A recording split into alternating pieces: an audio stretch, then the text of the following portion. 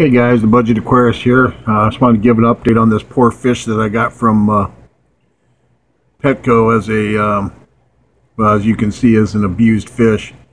Uh, unfortunately, it's developing up here what appears to be a disease known as lymphocystis. Uh, lymphocystis is not ick.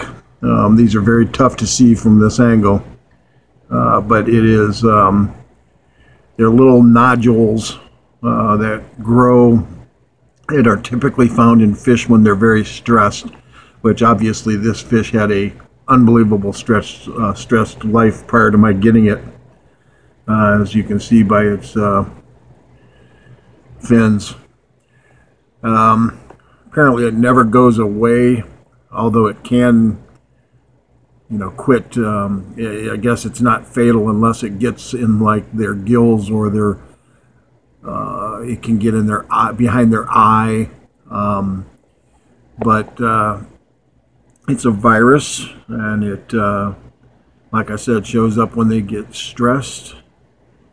And sadly, uh, this fish is quarantined. It's all by itself. Eating good, water condition is exceptional but as you can see, it's got three of these bumps, one above the eye, then one at the uh, about the one o'clock position, and one at about the 2:30 position. So I don't know what's going to happen to it. trying to keep it uh, stress-free. Um, but as you can see, this fish led a hard life, and uh, I don't know if it's going to make it or not. So keeping our fingers crossed and uh, keeping it fed, keeping the water clean, and uh, that's all you can do and it will either go away or it won't and uh, unfortunately I'm not real uh, optimistic right now. As I said sadly this fish had a hard life so I will keep you updated